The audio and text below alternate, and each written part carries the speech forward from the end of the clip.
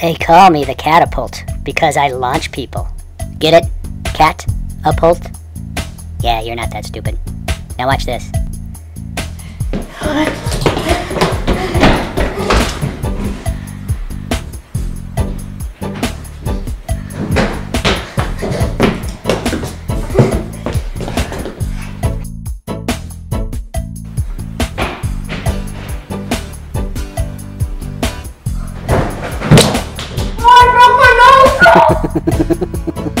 No, you didn't.